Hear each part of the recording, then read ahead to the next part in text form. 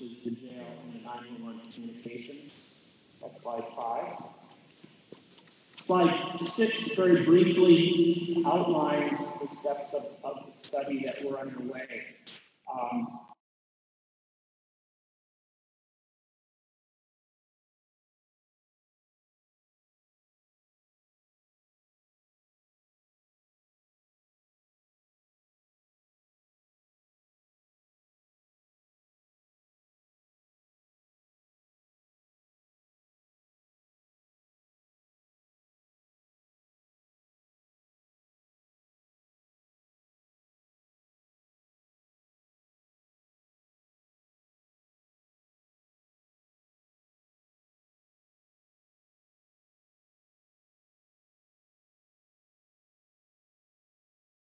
condition of the building and the need for beds, jail beds.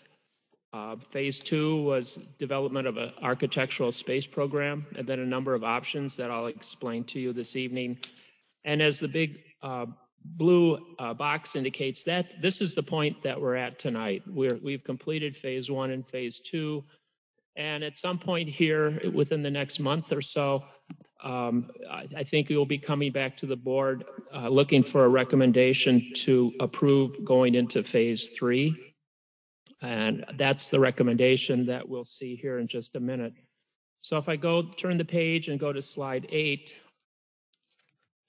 um, and um, you can follow with me. The safe, Safety Facility Study Group is recommending that the county board accept the phase two recommendation, which will be uh, labeled option seven and approve funding to move into phase three of schematic design. Now, that approval is simply to allow us to go into the next design phase. That does not fund the project. That would come at a later date. So there's opportunity going forward at many steps to discuss and debate this project. Um, so then slide nine, um, why are we here tonight? Why a new safety building? Um, and this portion of the presentation is, is a high level, high level presentation. There'll be more detailed as we get into the discussion tonight. There are really four reasons. Uh, I've alluded to this a moment ago that the physical condition of the safety building is a major issue here, and we'll get into more detail of that. The current design, which is the jail design, has a real impact, an adverse impact on jail operations. Um, Inadequate bed capacity, as some, if not all of you know, you're renting beds from other counties. Uh, a good percentage of your inmates are being housed in other places. Um, and then, of course, thinking in the, into the future, that there's always a consideration for future jail bed needs as time goes on. So um, let's then get into some of the details. Slide 10. As a, as a quick overview, that physical condition that I noted, uh, because of the nature of the building and its age, a lot of the materials and systems are, are out of date. Uh, they've not been perhaps well maintained, just simply the age of the equipment, no doubt, no different than a car or a house. Um, HVAC is the mechanical systems. Um, in the winter, there are no backups, and so portions of the jail are, are inadequately heated. Fire suppression is the same as fire sprinklers, and there is no fire sprinkler system in the building, only a fire monitoring system. Plumbing, um, as I note, continuous repair and replacement. Again, it's because of the condition of the building. And then electrical and power, likewise, old and out of dated. Page 11, slide 11, shows you a couple pictures. The picture on the left is the main hallway in the jail. This is what the jailers are able to see and observe the offenders, the inmates that are in jail. Literally, they cannot see what's going on in the jail without going actually into the little individual housing units. A more modern jail, and I note that the Eau Claire County, a few years ago, a project that we had done, quite a bit different in its design. So that's, we're talking about the, the impact of the physical building on jail operations. Page 12, um, specific to the housing component of the jail. Um, the design is in, is inadequate primarily because of the number of, the lack of beds. Classification is something that the state requires between male and females, uh, minimum, medium, and maximum classifications. That's not possible in the jail. Work release or the Huber facilities, um, there's a problem in contraband. People are coming into the jail with, with whatever, and there's not p- proper classification of that. And then finally, special needs beds. There, there's a, a percentage of people that are in the jail who might have uh, mental issues, they might have anger management, things like that. They need to be separated from the general population. In a jail small as this one is, there's just not that ability to separate that. So those are items related to housing. Page 13 talks about the support areas, and I won't read them all, but I think you get a flavor of the discussion. It's simply that the, the building is because of its age and its design, it's just not adequate to provide the, the, uh, the support that's required for the jail. Um, page 14, we turn the page. Um, 911 communication is in the jail. Um, that's your dispatch. And um, it's really because of its design and the fact that it's located in the jail, it actually serves as master control for the jail. Um, and as I note in the in the uh, notes here, master control and dispatcher should not be combined. And in a in a new facility, they would be separate functions. So you know when an issue comes up in the jail and you've got a call coming in, the question is who do you go to first? Do you deal with the issue in the jail or do you call you take care of the call? Um, slide 15, ADA is American Disabilities Act. Uh, as noted, many areas in the jail do, are not in compliant, and I've added a couple pictures here that will share that, that point with you. Slide six, any questions as I'm going along? Is this going at a decent pace? Are we okay? Too slow, too fast? Okay. I practiced. Um, several times. So slide 16, we've been talking about the jail. Let's talk a little bit about the sheriff's area. Um, as I noted there, it's in the basement of the jail. Um, there's some things that could vastly be improved. Um, I note here that the staff area is poorly laid out. I think for the staff to complete their functions and services, um, the layout and the distractions are, are quite significant. Some of the support areas like meeting rooms are too small. There's some issues with acoustical privacy in some of the meeting rooms. You can hear through the walls. And so if you're doing interviews or interrogations and things like that, I mean, there's just the physical condition of the building and there's no dedicated uh, staff break room. So we're, we're going to jump then to the third item, which is inadequate jail bed capacity. As I note, does not meet the present and future bed needs. The present jail uh, has a what's called a uh, rated capacity of 22 beds. That's what the state determines is the capacity of the jail. Now, there's also a term called design capacity, and I note 85%. I, I referred earlier to this topic called classification, where you have to separate people male, female, minimum, medium, maximum. Um, to do that, you literally the jail ends up being full at 85% or thereabouts because you you always end up with some beds that you can't use because you can't put the same people of different classifications into the same housing area if that if that if that makes sense to you. Um, when we did the the i'll be honest with you when we did this part of the study the average daily population was at 41 sheriff where are you at where are you at today if I might ask? So right now, with um, the measures that we've taken because of COVID 19, uh, we've done some creative things with the judge, with the district attorney, and we put people out on furlough. We've increased our use of electronic monitoring, um, and there has been absolutely no court. Uh, going on as well. So our numbers are, are relatively low. We're probably standing somewhere in the low 20s, high teens, mostly just because everything is literally shut down. Um, and because we're trying to eliminate the potential for spread, we again had to take some creative actions. But once this is over and our justice system fires back up again, yeah, we're gonna we're gonna go right back up to where we were. But for right now, for the sake of you know just getting through these uh, these challenging times, we were able to take some action. So I would estimate that any given day it's in the low 20s. Okay. Um, COVID 19 has had an incredible, incredible, that's not the right word. It's had um, a major impact on jails around, not only in Wisconsin, but around the country. Um, in an effort to try to separate people, move people out of the jail. Um, judges have been very lenient. Uh, law enforcement has been very lenient. They're not putting people in jail as much as they were, and I think that's some of the reason why your population is low. Um, I asked this question of all of our county clients, such as Kewaunee, and they're all pretty much saying as as what the sheriff is saying is that this is a sort of a, a drop, if you will. But when things get back to normal, we're probably going to be back up to where we were. Now, one can debate that, um, and I'm sure there will be a debate on that at some point with respect to the size of this jail facility. But it is certainly you cannot deny that COVID 19 hasn't had an impact on jails um, not only in its size, but also in its design. And I won't get into the details tonight, but um, it's a major design consideration. And frankly, your jail just can't address the COVID 19 issues that we're dealing with. Um, so I mentioned the 41. Um, I've, I've noted already that this issue of inmate classification. Um, and I should note also that because of that male female difficulty in the existing jail, all your female inmates, at least at the time that we did this part of the study, were being shipped out to other counties.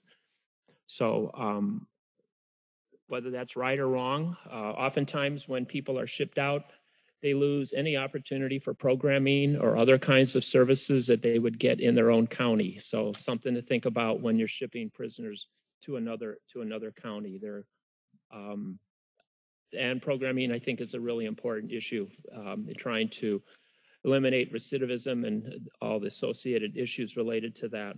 Um, so, page 19, we're going to go into section three. This is the bed needs assessment. Um, this is a part of the study that we had a consultant come in. Rod Miller is his name. His company is CRS. Um, spent quite a bit of time in the county collecting, analyzing information. He talked with many of the stakeholders here in the county, uh, county officials, police officers, judges. Uh, I think anyone who has an issue or, and is part of the judicial system had an opportunity to talk to talk with Rod. What his charge was was to create an average daily population and to create a 20-year forecast. So what we're talking about in terms of the size of the jail, the numbers that I'm going to share with you are going to be larger than what you currently have. But that's the point. The point is to plan a jail, build a jail that can last for 20, 30, 40 years. So you're not having to go back through this whole process again at some point 10 years from now, if you will. So um, on slide 21, just to note a few other things that Rod did. Um, in his assessment of the jail population, he did identify a variety of factors that could uh, certainly impact the future of jail bed needs. Um, there is uh, there is a discussion in the country about uh, eliminating bail. That's a possibility. Um, how the state deals with their probation offend the parole offenders is a big issue in many counties. So there are these unknown issues that can could affect bring the population down. They could spike the population. It's part of that real uncertainty as you begin to think about the size of the jail. Those are the factors. Um, on a side note, he offered a number of policies and practices that the county could initiate that would also address some of the issues related to the jail and its population. And one of those was to create a county criminal justice coordinating council. Um, and I think that's an excellent recommendation. So if I go to the next page, some of those statistics, um, the population of the jail has increased by 49% since 2009. So that's that's a real something to really to think about. Um, it's not that the jail population is flat, but it con- continues to grow. Um, and overall, that average is 4.9%, actually quite high. Slide 23, and we get into the actual numbers. What Rod is recommending for that 20 years is a population of, of 61.4, um, 61 inmates. But then he applies a number of other factors to that number, and he came up with 82 beds. Um, and I'll explain, I'll give you a better answer to the 82 when we get into the actual uh, jail planning design, because it, I'll, I'll save it until then. So 82 is the magic number today. So then um, Section four is, is going to go into a lot more detail to the things that I've just described. So I don't know if I will go through it as in a great detail. I think you can easily read what, what, what I have on these slides, but this is more backup information to what you just saw. So slide 25 talks about the more about the physical condition of the safety building. You can see the pictures. Again, I encourage you to tour the building at some point. Um, 26 talks about the mechanical systems that I noted earlier. 27 talks again about the fire protection or the fact that there's no uh, fire monitoring or that we have only fire monitoring. There are no sprinklers in the building. Um, again, we're going through here. If you have questions, please feel free to stop me. Um, plumbing, the, the issue here is that stuff is just old, it's out of date. Um, drainage problems, repair and replacement, parts that are not available anymore. Um, lighting, electrical, slide 29. A lot of issues related to the, the original design, the original fixtures. Slide 30 talks about power. Um, some of these things were, and there's a much deeper report that um, IMEG, our electrical engineer and mechanical engineer, put together for these, and that can certainly be shared with, with any of you if you want more detailed background information. We talk about slide 31, the fire alarms, video surveillance, access control. Again, I don't want to go too quickly, but um, some of this gets to be really boring. Is it boring? No. so let's get let's get to the good stuff. Um, action plans. This is slide 32. Um, a little bit of background of slide 33. Um, two little red boxes. There is towards the bottom is the courthouse, the safety building um, in downtown uh, Ki- uh, Kewaunee. And then, as many of you know, all of you know that a, a mile and a half up the road, you have a metal building that the, the county acquired a number of years ago. And in that building is your your sheriff's fleet, the armory, uh, vehicle impound. Those would be vehicles that have been in accidents um, related to evidence, evid- evidentiary information. Yeah, workout training and evidence storage is all up in, in that building. So just a little back, background as to what you currently have.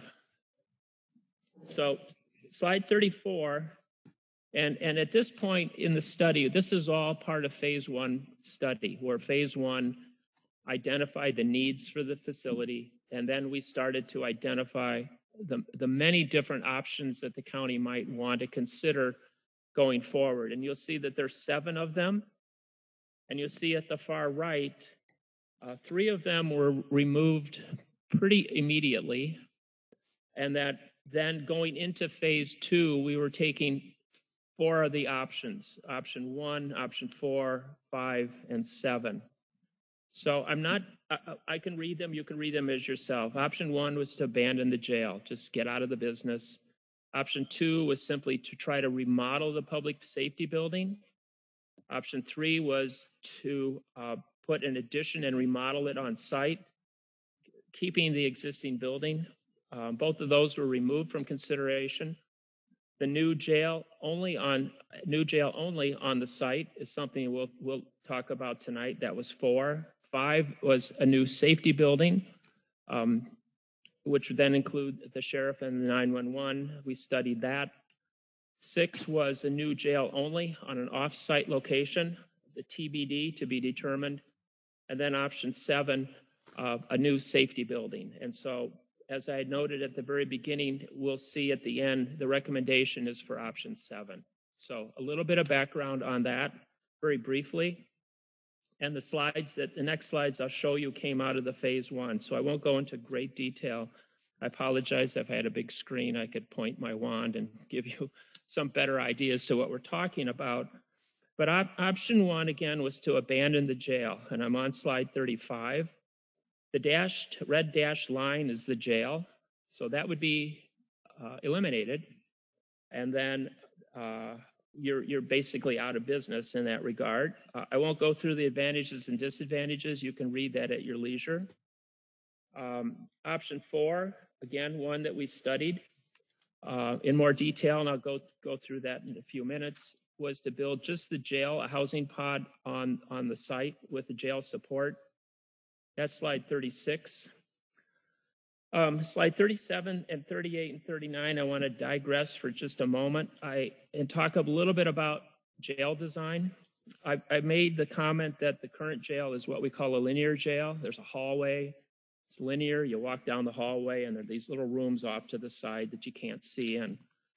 What you'll see in slide 37 is, and the, I guess the key word is called pod, podular. So it's kind of like a, a wagon wheel. The red is the officer, and all the purple are the are the cells, and they they, are, they radiate around the perimeter of the jail. And so from that one position, then the officer can see pretty much everything in the pod.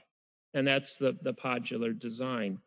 And again, without getting into the details of this little diagram, all those lines that um, radiate off of that middle point, uh, those are solid walls.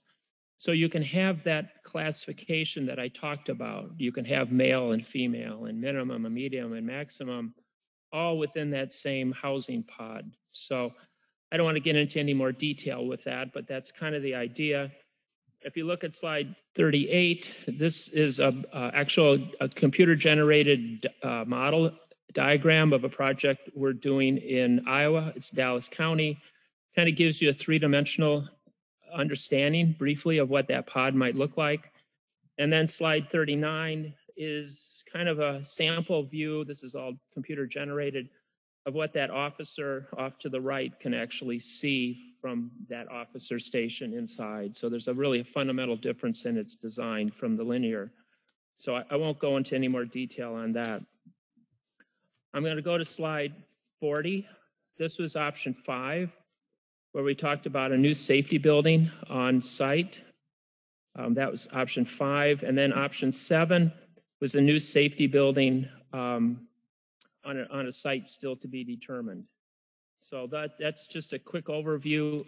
That was part of phase one, and I'm realizing as I go through this and uh, actually putting this together, there's going to be a little bit of overlap, and I apologize, but I wanted to make sure that everyone understood the work that was part of phase one. And so we're essentially we finished phase one at that point. We didn't put any budgets together. We just had the options. So page 42 really begins the phase two, where we start to look at more detail, budget numbers, et cetera, um, a more deeper dive into the options. So um, let me then walk you through these. So option number one, as you recall, is to abandon the jail and simply rent beds from adjoining counties. So 43 kind of gives you a, a, quick overview of what that means. It means that inmates are shipped to other counties.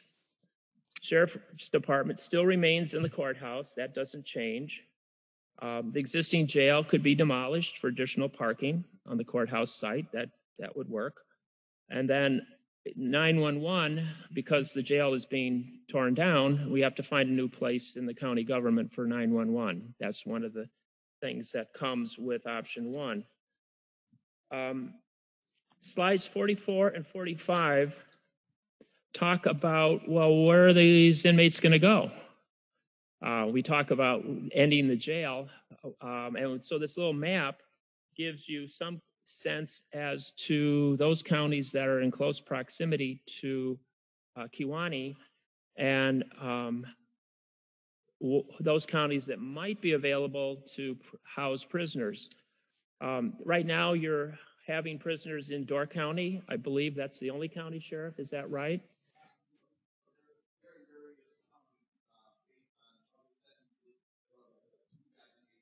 Okay.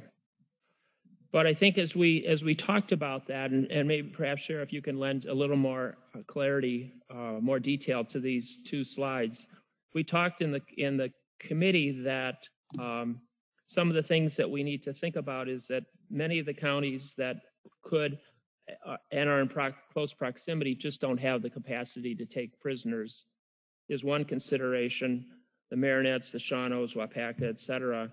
And then the other consideration is that the cost to transport prisoners, um, if you are transporting to an adjoining county, then you, ha- you can do that with only one officer If you have to go beyond that, then I believe it's two officers, is that right? So there is a cost associated with that, an additional cost. Um, Slide 46, some, uh, 46 and 47 talk more about some of the impact of, of this particular option. Um, I'm on 46, uh, new arrests to be booked out of the county. It impacts all local police departments. See, now you don't, you don't have a jail anymore. Um, additional staff would be required to transport inmates to these adjoining counties as well as back and forth to court. Some of that does happen through electronic video, video conferencing, et cetera, and that definitely has increased dramatically because of COVID-19. Um, Huber work release inmates, this is the third item. Um, it complicates their opportunity to, to do that in that regard and the strain on families. And then I noted or alluded to some time back in the presentation that when you're transporting and you have inmates that are in other counties, oftentimes the programming opportunities are non-existent. So I think there's, you know, there's certainly a consideration there.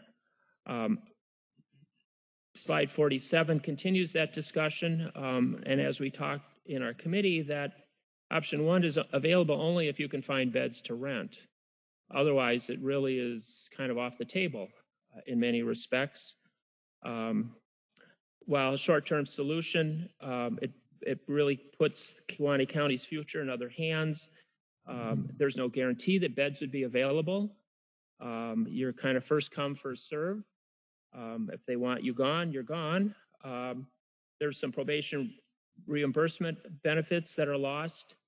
And, and as I think the sheriff's staff noted on slide 47, that if, if someday you were to go back into the jail business, um, you know, staff training and all those other things to, to kind of go back into that business would become more problematic.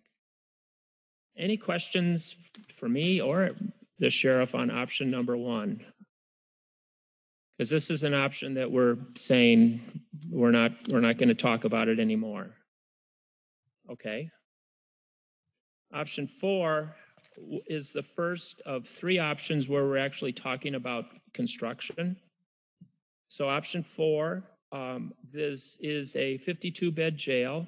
And this is where I want to explain a little bit about sizes of jails. Um, the, the, the recommendation is to build a jail that has the capacity for 52 beds, but with the sizing of the jail cell, the state will allow us to double those cells. And that allows us to take a 52 bed jail and actually have the capacity and time to, to actually house 85 individuals. So it's maybe it's a wordsmith. Is it an 85 bed jail or is it a 50, 52 bed jail? I guess it depends upon your point of view, I suppose, in that regard. Um, but that's that's what this recommendation is. Um, it's a three-story building built on the site of the existing jail. Sheriff's Department stays in the courthouse. I'm reading off of slide 48, and there's a connection between the jail and the courthouse. Um, to be fair to this option, and against compared to other options, particularly option seven, where parking would be provided adequately on an off off-site location. Um, acquiring property around the courthouse for, for that needed parking for the sheriff's staff, et cetera, um, might well be a, a requirement from option number four. So you have a little diagram on page 49, and we dropped this little diagram of a new jail onto the site. It takes the place of the existing jail and the parking that's behind that. Um, slide 50 talks a little more graphically about just diagrammatically what that jail might look like. I won't go into the details of that, but there's the podular design that I noted before. Slide 51 um, begins to talk about costs so that all of this for this option four, it's capital cost, and the plan would be that it would be bid pretty much this time next year, 2021. The construction cost is just shy of 19 million. There are other uh, non-construction related costs uh, uh that I estimate at roughly 18%. These are fees, permits, uh, contingency dollars, movable equipment, telecommunications, things that are not built into the bricks and mortar of the building. That's 18%. There are temporary costs during construction. Um, we have a jail that's no longer. We have to transport prisoners. We have to pay for those prisoners. Uh, everybody's out of the jail now. Um, there's some details that can be provided for those numbers if, if needed. And so that's the total pros, total project cost of approximately 26 million. Because the study is really a study at this point, um, I asked the uh, Concord Group to give me a range of numbers. So um, option four is what 24.7 to 27.4, just a range. So that is um, the costs for option four, and there'll be a summary page here in a minute that you can see all the numbers together. There are, um, in, in an effort to try to break down some of those costs, slide 52 simply identifies the things that are included in the construction cost. And then slide 53 uh, likewise continues, continues that as well. And then uh, slide 54 talks about those other costs that I noted before. This is slide 54, and this will apply to all the options, the contingency dollars, the professional fees, surveys, testing, so on and so forth. Um, more information on option four. The recommendation is to remove this from consideration, primarily because uh, additional staff, uh, due to the multi-level design, it's a three-story building. The site doesn't allow the county to really grow any further with the jail we'll find that the similar costs for option one during construction are the same and the same staffing, et cetera. So option four was likewise removed. Option five is um, another concept at the um, same site. I should I should back up for a moment. Option four was strictly the jail. And option four said that the sheriff's office stayed inside the courthouse. Option five is going to propose both the new jail, the 52 bed jail, as well as the new sheriff's office. So then a lot of the same information that we saw in option four, just um, some different numbers because the scope of the project is larger. So if I go to slide 59, this is the capital cost. I explained already briefly how what those numbers, how we put those numbers together. And again, you get a range of 32 to 35 and a half million for option five. Some of the comments that we uh, developed during the planning of this, this is slide 60 and 61, um, requires additional jail staff compared to what we'll talk about in option seven due to the multi-level design the site limits the future growth. I noted earlier, um, some of the other costs are similar to option one during construction, staffing for 911, et cetera. No benefits to relocating the sheriff's department to a new jail. Um, and so then we get to option number seven, and this begins slide 61. So this is likewise as, as the other option. It's a 52 bed jail, expandable to 85 beds includes jail support, sheriff's department, and a new 911 communication, all in one building. Uh, the, the plan, as you'll see tonight, is to build it on the field south of the Health and Human Services building. And it is inside the city of Kewaunee. It's a one-story building when compared to the other designs and the other options that were multi-leveled. That's the staffing concern. There would be parking for both the public, the sheriff, and the jail. And because of the availability of land, that the, the building can be master planned so that in the future, for our grandchildren, whomever, um, that the building can be expanded where the downtown site does not offer that, that opportunity. So um, I go to slide 62. We're coming down to the end here. So you'll see on slide 62, this is the, the farm field that's south of the HHS building. Um, it's really strictly a diagram at this point. The, the, you'll see the pod, the, the, the lighter green is the jail, the bluish color is the sheriff's office. The site is such that uh, the building can be master planned so that there could be other future construction on site. Maybe someday, not in our lifetime, but maybe someday the courthouse it will be reconsidered because of its age um, and condition so that uh, any work that's done in, in such as option seven should take into account the possibility someday in the future that a new courthouse might be built on that and thus make really a new justice center. It would be short-sighted to make that, not, not to consider that and include that as a future option. So we get to the numbers on 63 and you'll see that the project cost is 32 to 35 million. Slides 64 and 65 talk perhaps more favorably of option seven. Um, I've, I've noted many of them already. The site allows a single story construction. It's less expensive on a cost per square foot base, cost per square foot basis. Um, the design can be maximized its operational efficiency because we're doing dealing with everything that's brand new all on one level. There's the ability for expansion, as I noted before, and the fact that it's in close proximity to the HHS building. And there is, in fact, a lot of a lot of movement back and forth between staff, or could be potentially between the existing HHS admin building and the new um, safety building. And then um, that kind of segues into 65, where we, we talk about allowing the most efficient use of county staff resources. Um, there is also, though, however, the transportation of inmates to court. Um, that does not happen now, but you know, actually across across the parking lot.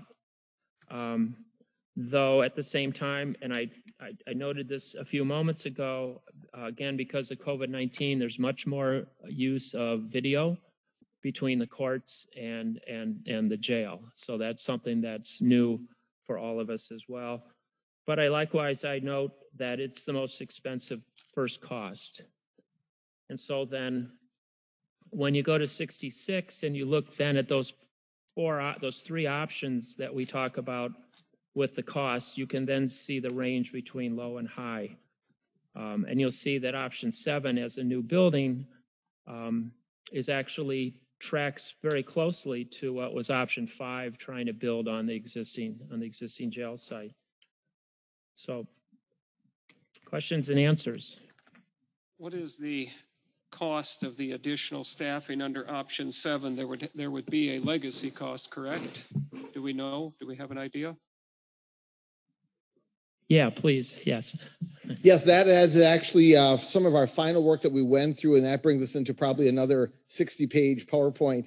Um, and so I think we want to kind of expedite it for tonight. But absolutely, staffing is a, a concern or a consideration but in that new facility versus trying to shoehorn something onto that existing site with multi levels, the most efficient use of staff is going to be, you know, at a single level, something that's actually built for maximum efficiency. And one of the other discussions we had, so most of you know, or maybe you don't. So Kewaunee County is very unique that we've always been doing this this dual role um, staffing model, right? Where our jailers are dispatchers and our dispatchers are jailers. Which, as was stated, when the 911 phone rings and that jailer has to go back up the 911 operator to page fire to page rescue to do a mutual aid box alarm. The question then is asked who's watching the inmates?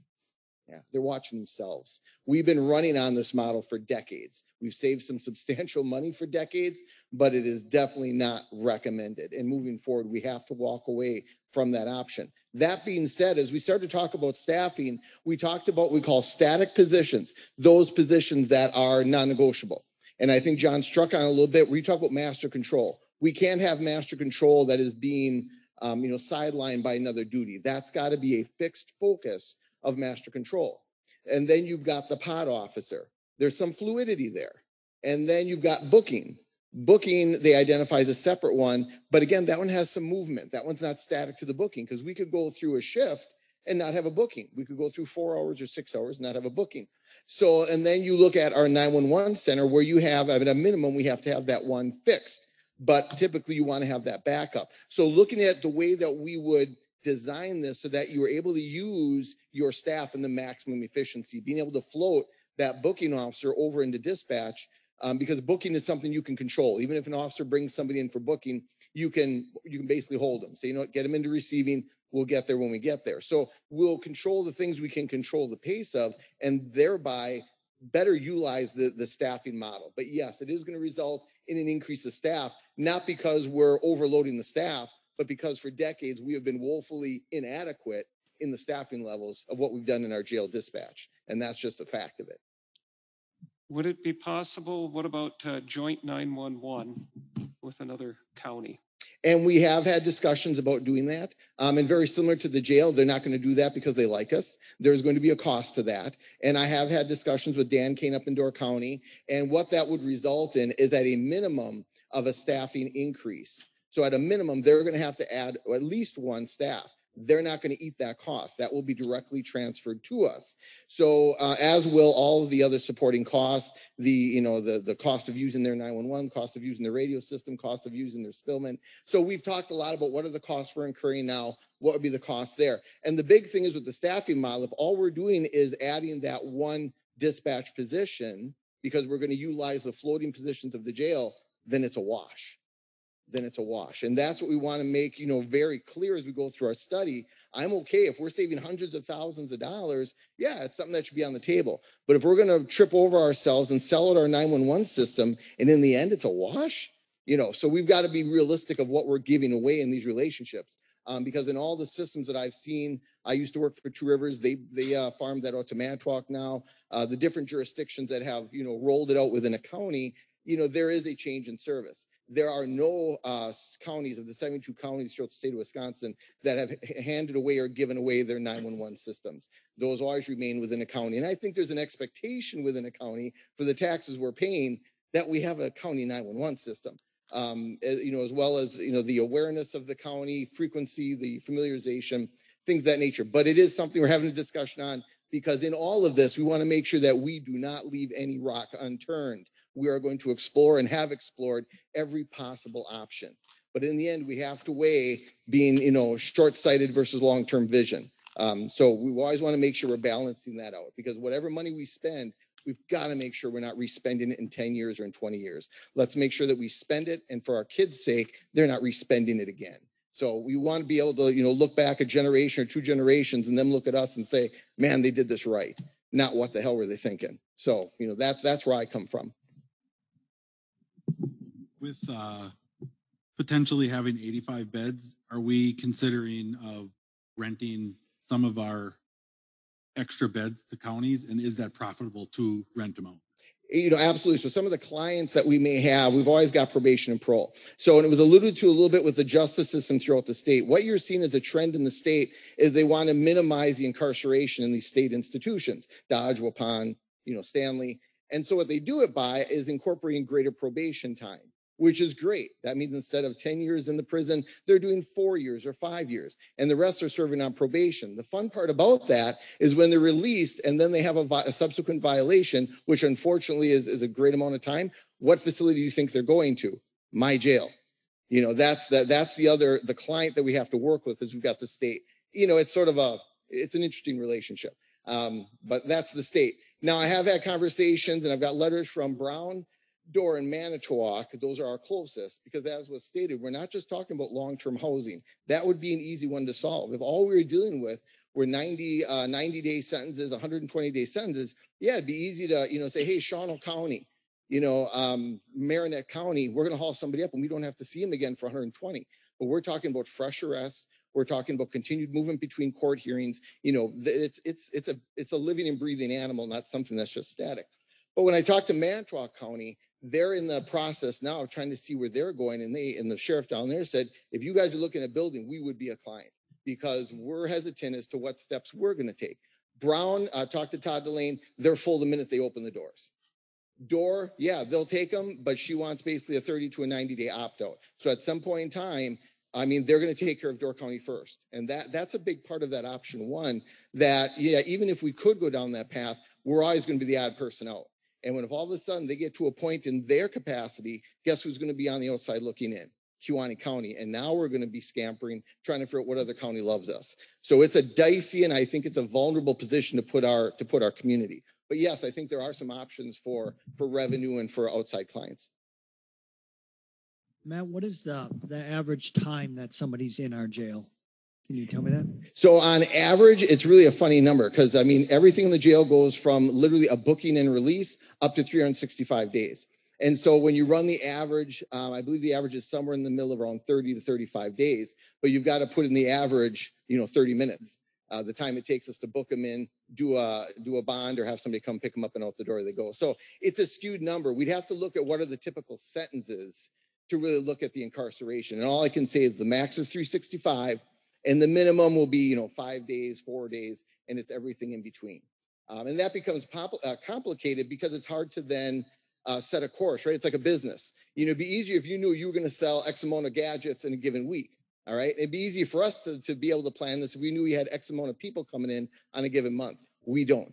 You know, we have ebbs and flows, we have spikes, and we have valleys. Um, so all we can do is work with these estimates, build for what we know the need is today, and have the vision to look out 20 years, 30 years, 40 years. So as they talked about the jail, you know, the starting point to the ending point, yeah, you're starting out with the needs up front, but you have the ability basically just through some mounting plates in the walls that are built in that when the time comes that we've, you know, creeped up, you just hang another rack. You know, and we're not having to go back to the taxpayer saying, hey, here we go again. Let's put up some more concrete. So we want to be able to look forward those 10, 20, 30 years so that when we do get to those numbers, it's as easy as literally hanging a rack. We just increased our capacity. So we want to be smart about this and be able to look forward as much as we can. Yes, Linda. In the minutes, it said that the committee decided not to have a basement. What was the reason for that? You know, and that's something I don't know that it's been 100% eliminated, but we looked at the pros and cons. What's the value as far as accessibility? Basements typically were used for your for your vaults, for your record storage. We're digital. I don't need, you know, to spend thousands of dollars on a hole in the ground because we want to put boxes in, into a corner. We've gone digital. So our need for storage is very minimal. So we'd have to ask ourselves, what are we going to put in that place that we're going to spend, you know, thousands of dollars on a hole in the ground if really there's no value to it. If there is, and, and we can justify that value, want to do it. But I think typically and historically, we always had basements, you know, primarily for records retention. We've gone digital for over a decade now. The record, the paper that we um, create and generate in the sheriff's department is minimal. So I really have no need for, you know, vault storage rooms and all that stuff. We want to keep it at a minimum. Plus, from an ADA standpoint, if you have a second level, you have to have an elevator. I thought the basement was where solitary was. No, that's your room. Other questions? So When the, um, I remember when the original jail was built and I never was for that back then. But, uh, at that time they said that, or somewhere along the line, they said you wouldn't be able to build a second story there. And so it would this, single story facility be built? I know it, there's a lot of land. but Can it you, would be can you built speak at- in your microphone? They can't hear you up front. I'm sorry. Do you want me to repeat anything? Uh, probably, Okay. yes. So I said that I remember when the original building was built and um, you could not build a second story on top of that building.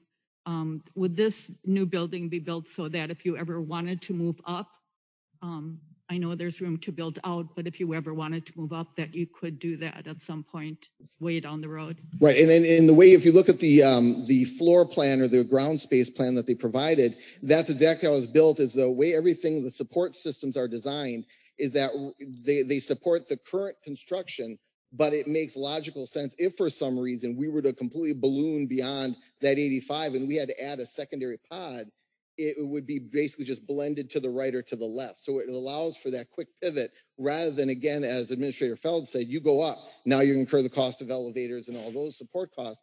So this with the footprint, with the space we have, again, that green space offers us the opportunity for that kind of lateral or, or you know, um, horizontal movement versus having to go up. Um, because once you go up, now you're adding staff because the same staff can't watch two levels. You're going to be adding infrastructure. So the idea is never have to go two stories. And that's why we've got that nice space of green space to be able to either go horizontal to the left or horizontal to the right and still be able to use the support areas that are already there and not having to add those as well. So really, I mean, the, the folks that are doing this, I'm really sometimes just amazed at the foresight and the lessons learned that we can benefit from that they've learned over the years. So some good questions.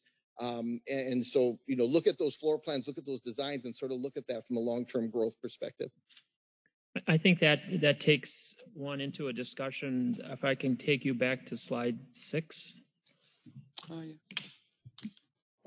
which talks about the process that um, you have us under contract. That slide six shows those three phases of work that, that we are under contract with you. Um, The needs assessment, and then phase two was where we put together the budget information for these different options. And then, of course, the recommendation for option seven. But the, there is no floor plan in a sense. It's simply a diagram uh, to help identify and make sure that the land that's being considered is adequate in size and that I had something that I could give to our cost estimator who could have more than just a, a square foot number to put his, his estimates together. But I think, um, you know, part of the recommendation and a major reason uh, I think going forward is to get into that schematic design phase, which is, which is phase three, which is allows us to get into, into the details of the design, talk again perhaps about a basement, you know, have a floor plan that you can actually look at and talk about, understand where future expansion would take place, et cetera. And as I mentioned before, um, the commitment that you make to go into phase three does not obligate you at that point to fund the project. Can I, can I say that, Sheriff? I mean, it's a fair statement, I think. So, um, in as much as I think everyone on the study wants the project to continue to go past um, into the detailed design, the commitment that you're making uh, i- to go into phase three is a, is is is it's not the big bucks if you if you follow what I'm What- saying. But there is a, there is a pretty significant cost to the taxpayers to move to the next phase. I mean, we would want to make sure we knew what we were doing. Yeah, there's a cost associated with that. Yeah. Yeah, do you know what that is offhand? Good question. I thought you might ask. Yes. I think I think I need to work with Scott and understand what the actual scope of that work would be. Um, and I think it starts by defining what the word schematic means. Right. And Yeah. My, my point is that the supervisor should understand if we go into that next phase, we really should kind of have somewhat of an idea of what we're doing because. Oh, it would be- absolutely, and I It would be a significant cost to the taxpayers for no. Yeah, for there's a nothing. cost. Yes. Yeah. I mean, as nice a guy as you are, you're not doing that for, just as Sheriff Joski pointed out, just because he likes us. Any other questions? Yes, Supervisor Vollenweider. So we are looking at a fifty-two bed facility expandable to eighty-five. So my question is, if we build a fifty-two bed facility for fifty-two inmates, fifty-two beds, how much is being built to be considered expandable? I mean, can we just build a fifty-two bed facility and we have real estate to add on? Are we actually gonna have brick and mortar that is gonna be utilized in the future? So that's kind of what I spoke at earlier. When we talk about the fifty-two, the eighty-five is within the confines of what's being put before you. That pod that you see is already expandable from the fifty-two up to the eighty-five, merely through some anchor plates on the wall. Something as simple as So it's that. brick and mortar eighty-five. We're, we're building, right, Square so we're building to the capacity of eighty-five. Right, because there, there's, how do you say, there's really no more cost to it. If we were to try to shoehorn it down and say, we're only gonna build a forty-five, when you look at what it would take to just build out that area square footage wise, it's not a big cost versus doing what we're doing now and trying to shrink it down and then duplicating all that mortar and But I. I'm just curious if we were to do fifty-two bed facility, which exceeds our current needs. And, you know, we've looked at the growth, uh, historically from back when we had this jail on the, uh, supervisor's plates, how many years ago? And we haven't gone way beyond that. So, and at the time, they were also talking about renting beds and that didn't go over very well. if Exactly. Serves me. So I'd be curious to know what a fifty-two bed facility would actually cost. If, if I may, Sheriff, uh, if Supervisor Vollenweider, if you go to uh, slide 37, uh, that probably does a good from a visual standpoint, is there's a difference between cells and beds. Uh, And uh, typically to provide uh, flexibility in, in both construction as well as housing of inmates, as you'll see, uh, you have and I can't even count exactly how many cells, but what happens more often than not is from a state statute standpoint is if you build a cell large enough, you are allowed to double bunk that cell. How we would initially do it and how many counties have done it is they start with that cell first as a one bunk cell. And then if the population start, starts to expand beyond that, then as the sheriff said, we put up plates and we put a second bunk in that cell, which is absolutely allowed within, within state statute, which therefore allows us to go from fifty-two beds up to eighty-five. So in your question regarding concrete, no more concrete needs to be poured. Instead, what this does, and the, the reason we're going with this is because of the magic number of eighty-two. And eighty-two is, is projected twenty years from now. It's not projected right now. So if we, if we're going right now with our average daily population of about 41, 42, a 52 bed should therefore be definitely adequate for our immediate needs. And then if we go to the 85 beds, that meets our magic 82 n- bed number 20 years from now. But I'm just saying that, let's say then we went to sixty to keep it a round number, sixty bed facility that is doubled, Mhm. uh, you know, capacity and it's not eighty-five brick and mortar expandable. You would literally have to expand the side of the building to go that much bigger. How much would it cost if we wanted a sixty bed max capacity facility? And, and that we wouldn't have that number for because Because that that to me wasn't is a something we number a put little together. more realistic suiting our needs. If twenty years from now, we need another twenty-five beds, we still have the opportunity to do that on that same site. Correct, we do. Otherwise, twenty years from now, we're gonna be putting a new roof on it. We're gonna be fixing this, fixing that, and fixing that on something that we haven't needed for twenty years. Right, now, so I'm gonna make a couple points to that. First of all, if you do it that way and you just think forward to the, the here and now, maybe even ten years, um, it's not just adding another pod because you have to understand the, the operational aspect. Now we're gonna have to double the staff. So while we may be doing ourselves a favor in the next ten years, yeah, we're putting a heck of a burden on the next generation because we wanted to just do the minimum. Second point is that, yeah, that, daily population that we're talking about now has been phased back for, you know, let's even we go back three years. We've known that the jail's been an issue for over 20. We know that. You know who else knows that? The judge, the DA, probation and parole. There's a lot of parts of our criminal justice system that we say have been adjusting to what we all know you're only as good as your weakest link. The weakest link in our criminal justice system locally is our jail. So when the judge sits in front of a person and says, man, I'd really like to sentence this person to 90 days, but I know my jail can't hold it, he puts them on a, on a deferred prosecution. Maybe he just puts them out on a bond. We know that. We've had these conversations that this is going on. So once we actually have a suitable facility that everybody that's part of the criminal justice system can say, all right, now I can do my job, we're going to see some different numbers. So I don't want to say the numbers are suppressed, but they are because everybody knows the weakest link in our justice system. And for the judge to say, I'm going to be hard, tough on crime, he can't be tough on crime because there's nowhere to put him or the cost would be overbearing. So we've got to be careful again, not to just, you know, see this far for the sake of our children. We got we got to be able to throw a long ball here. We got to be able to do it. Now, I'm not saying to go over the top and spend excessively, but let's always make sure that we are not just thinking of the here and now, um, because we've done that in other projects. We've seen other counties do that in other projects, and we've toured a lot of counties, and that was their regret that they put together a building based on some solid recommendations, and people drew it back, saying, "Man, if we could just save a couple bucks." And now they're in it for a year or two, and they're like, "Why? Why did we do that?" Now we're now we're literally burdened for the rest of the life of this building with that desire to try to save a few bucks. So again, I want to be frugal. I own a home as well in this county. All right. I pay taxes. I'm an elected official as you are. All right. So we're all accountable to people, but I'm all about leadership and I'm all about vision. All right. And if that means that somebody gets mad at me because they think I'm being excessive, I have to justify that. And that's where, as was stated, please tour the current jail once we open it up, because right now it's locked down.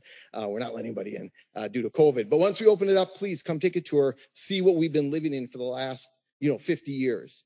Um, it- it's beyond, it's, it's, it's really remarkable. Um, there was actually a statement made when we did a justice and jail analysis four years ago. I started this process with an analysis. They went through and looked at everything. And this group of people said, we go around the county or around the country defending counties in regards to the operation and the resources in the jail. What we're seeing in Kewaunee County, it's not defendable. And I was just blown away by that statement. They literally said, we, we wouldn't be able to defend you people. This is crazy how you're getting by in this jail. And I'm very proud of the men and women that work every day in it. We've done a great job. If you think of any operation in the county that, that, um, that has the greatest potential for litigation, for lawsuits, what do you think it is? It's the jail. And how many lawsuits do you think we've had? All right, zero. And that's not because we have an amazing facility that takes into account state of state of the art equipment. No, it's because we have amazing men and women that work every day to mitigate all of these shortcomings in this facility. We're going to continue to do that. And I would rather us take the time now because we're in a very odd spot in our country, and I get that. So this project's going to hit a little roadblock, right? Let's use that time to get out there and educate, bring awareness, inform. That's what I really want to do. So we're not in any huge hurry. We understand what everybody's going through, but for, you know, for heaven's sake, do not just put this on the back burner for another 20 years. Standing still is not an option. We've got to do it right for the sake of our children. And that's all I'm going to say. Any other questions? Okay, thank you very much. Thank you. Do we have uh, any, uh, anything on the whereabouts of Bug Tussle? We do not. We do not. Okay. Well, we'll move on to administrators report then. Thank you, Mr. Chair. I just have a couple items uh, for the board to be aware of. Uh, Some of you may have seen the announcement. uh, The Governor Evers had announced a Routes to Recovery uh, award to basically all local governments. Uh, Kiwanis, Kewaunee County's allocation is three hundred and thirty-six thousand eight hundred and sixty-four dollars. This has to be for unbudgeted government expenditures that are COVID related. So eventually what will be, what will be happening is uh, there will be requests to different committees on expenditures uh, for purchases of a variety of different things, whether that's cleaning supplies, whether that's some medical supplies, PPE, uh, other types of items. Uh, so those will be uh, requests for uh, expenditures, and we would then need the committees and the finance committee and the board to approve those expenditures. But those expenditures would be reimbursed by this routes to recovery money. As we move forward, this is for expenses that have been uh, taken between March 1st and October 31st. So as we go through this process, you'll be getting more information, but I just wanted the board to be aware of that. And then the second item, for those of you that may not be aware, uh, the Public Service Commission has announced uh, their next round of broadband expansion grants. They'll be sending out the application materials on September 1st of this year. And then uh, the deadline to have those applications sent in will be December 1st. Again, there'll be another $24 million available uh, to be dispersed among uh, applicants that are awarded money. Um, as we move forward, uh, we will come to the board and see if a application should be submitted and what that would uh, look like. But I just wanted people to have a heads up as to those two items because those will be uh, possible expenditures coming before the board. If there's any questions that board members have on this or something else, I'm willing to answer as best I can.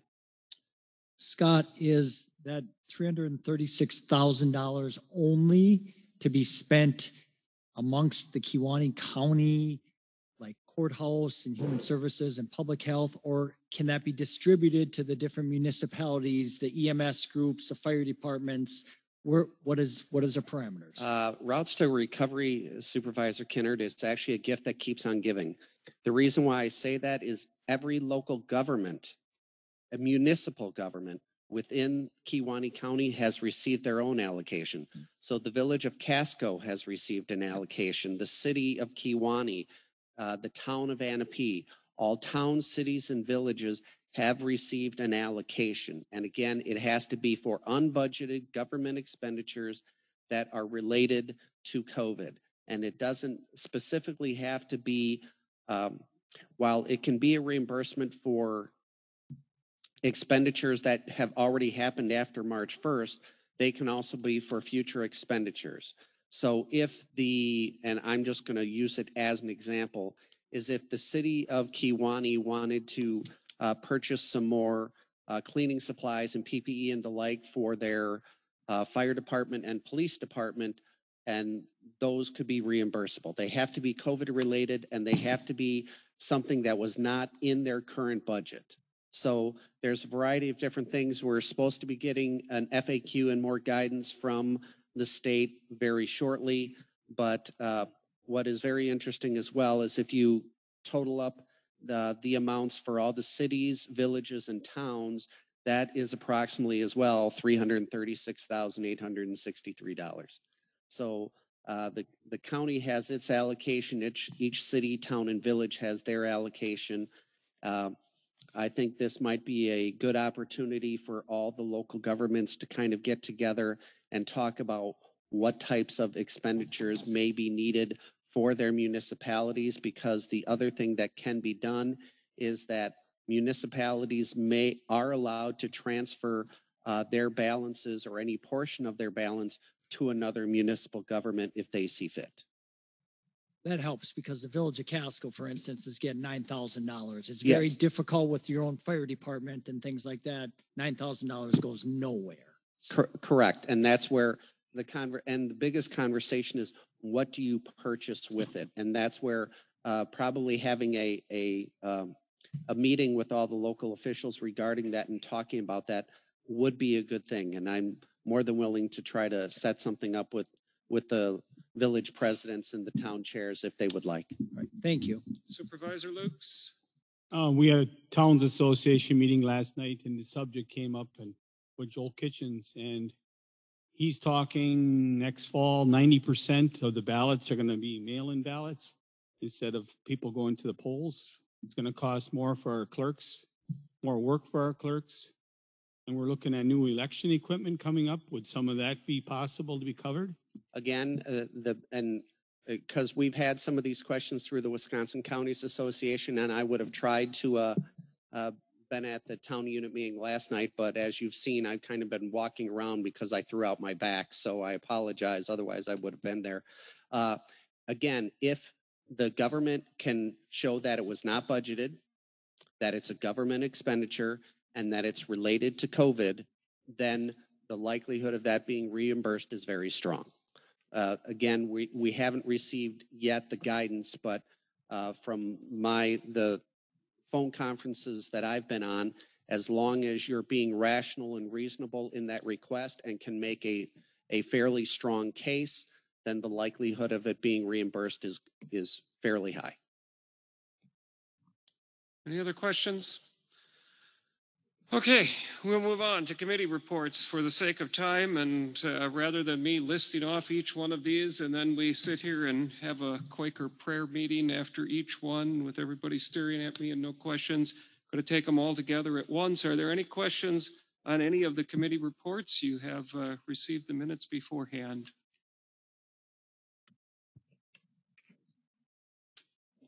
None on the reports, Mr. Chairman, but is, can we get an update? At what point can we get an update from some of our directors?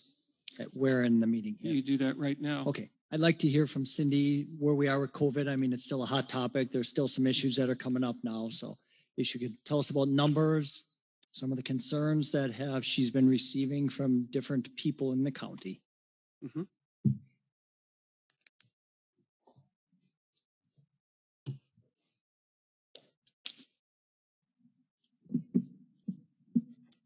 All right, can everyone hear me?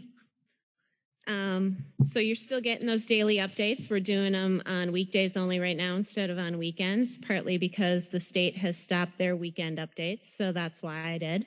Um, but right now, currently in the county, we have 39 positive cases. Two of those are active. 36 have been cleared. We've had one death. We have no one hospitalized at this time. 1,273 negative cases. 32 are still pending. The majority of our cases fall under the age of 49. So we have a tie going between the age group of nine, 19 and 30 with 12 cases and 31 to 49 with 12 cases. The recent increase that we've seen is among the 19 to 30 year old group because the kids are going back out. So that's what we're finding is that kids are out and among their friends and we're seeing some of those cases go up. Um, other than that, uh, we have had no real kickback on our reopening guidelines that we put out. So we are trying to support as many agencies and organizations throughout the county as possible with giving them further guidance on how to go about making those guidelines work. Um, we're seeing more and more businesses, uh, churches, et cetera, open. Schools are starting to open up again for summer school in the next few weeks. Algoma is actually on a virtual uh, summer school plan right now. Luxemburg Casco is looking to go live at the end of July. So, um, does anyone have any specific questions for me in regard to COVID at this point? Can you remind me, what is the uh, definition of a active? How many days is that? Two weeks or is it 30 It days? just depends on their symptoms. Okay, So it's anyone who has active symptoms, they have to be 10 days from the start of their symptoms and then three days symptom free. So for some days, some people it's less or 10 days exactly. For some people, it could be three to four weeks, depending on how sick they are and how their symptoms um, progress. Okay. We did do some community testing last month. Um, we were up in Door County. We did a joint venture with Door County and the National Guard. Um, I did a big shout out in one of my newsletters to the National Guard. They were fantastic to work with. Um, we saw about 100 to 150 cases a day or people come through to be tested. They haven't given me an exact breakdown yet on how many were Kewaunee County and how many were Door County. But if I had to guess, it would be probably more like one third Kewaunee County, two thirds Door County. We did see people come from Marinette, Brown, Sheboygan. So we had some of the neighboring counties venture up to to be tested at that time. Out of that testing, we did see one positive case. Do you have any idea at this time, schools, what do you anticipate in the fall? The schools right now are openly discussing um, going back in fall. Uh, one of their biggest obstacles that they're looking at right now is busing in the guidelines that are tentatively being discussed by the state. They would allow approximately 13 children on a bus. So that would be each route would run six times to get the kids there. So When- that's a very tough obstacle to overcome. When would they start? 3 a.m.? Well, that's kind of what they're looking at. So I'm not sure how that's going to work. The other questions that they have, some school officials feel very strongly about wearing PPE, some don't. So would they have kids mask? Would they not? Uh, close proximity in classrooms is another concern. And then athletics has also been a hot topic. The WIAA has uh, document, I believe, that will be coming out, uh, or their their document in regard in in conjunction with DPI will be out, I believe, on the 22nd, which is on Monday. June 22nd. Yeah, so just- we're hoping to get further guidance, but that's just going to be guidance. It's not going to be set in stone. School districts are going to have to work through what they think is going to be best for each of their districts. So you anticipate that the DPI come fall, it will be just guidance or will they have requirements? Because It will be guidance. On schools, as I understand it, they can place requirements, Mm, From what I've heard, they're talking guidance. but you don't anticipate just guidance at this point. Mhm. Okay, thank you. Any other questions for Cindy? Thanks. Thank you. Any other questions on any of the, uh, from any, for any committee? Yes, sir. Supervisor Augustine.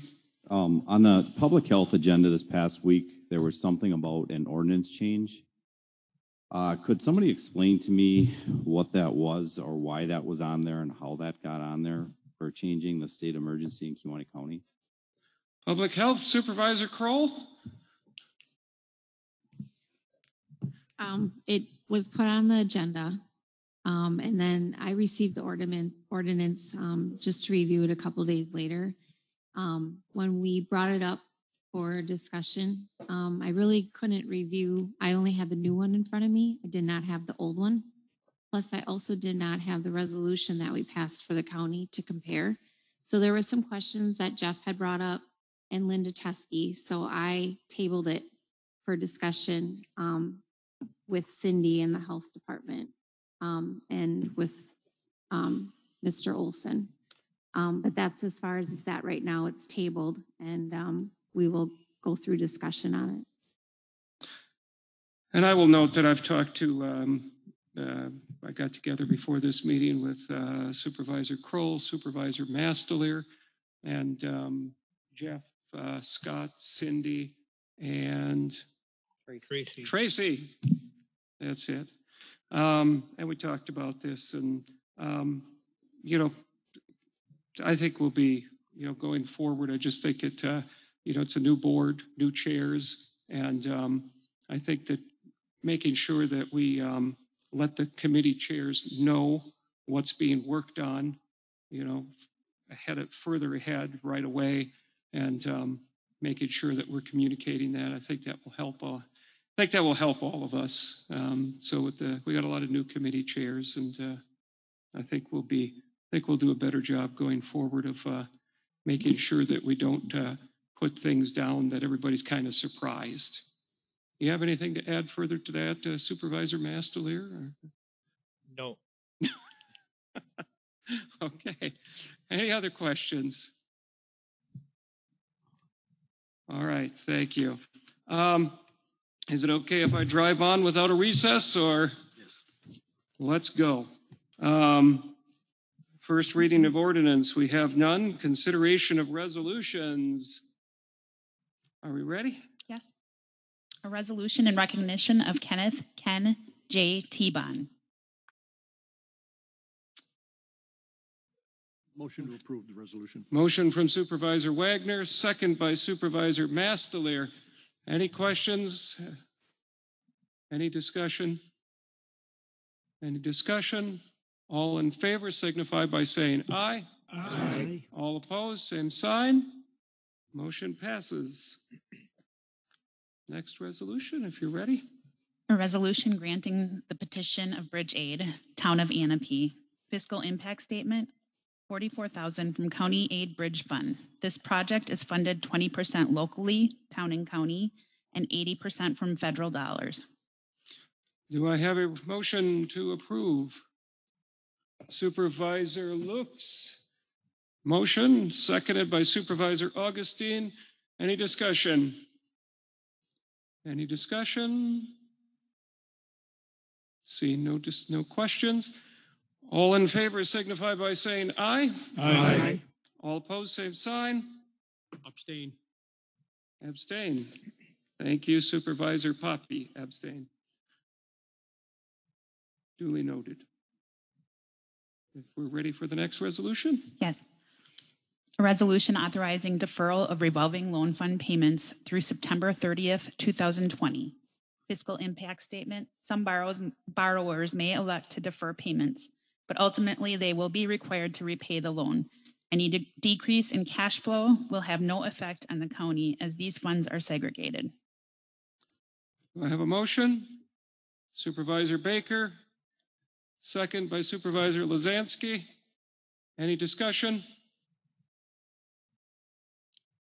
Any discussion? Seeing no discussion, all in favor of the resolution signify by saying aye. Aye. All opposed, same sign. Motion passes. Communications, since there's uh, no ordinances read it previous, we'll move on to communications, resolutions from other counties. Um, I have two resolutions, both from Wood County. The first one is to support the 116th Congress Senate Bill 3020 and House of Rep Bill 5516, the Commitment to Veteran Support and Out- Outreach Act. And the, le- the second one is request the state senate to convene an extraordinary ses- session to address the 13 water bills passed in the assembly earlier this year. Thank you. We move on to Kewaunee County events or any announcements, comments? This is your chance Supervisor Kennard. Any kind of events? Is that what this is about? That's going to be happening? All Events right. or anything you want to say about any of the staff positively? No, I just want to mention some events that are coming up for the county. A lot of the parades are shut down this year with COVID going on. Uh, Village of Casco, uh, Lions, Casco Lions are holding their parade third weekend in August. So there will be a parade going through the Village of Casco. 100 years for the Village of Casco also, followed by the ball tournament and everything that goes on. Our Casco A's will be playing in the village, and Luxemburg Casco High School Baseball will be coming to play in the Village of Casco because the school field is not open in Luxemburg, and we also have a lot of the youth leagues that are coming to the Village of Casco to play. So we're trying to accommodate as many public things as we can for the people. So Sounds like Casco's the place to be this summer. absolutely. Any other announcements?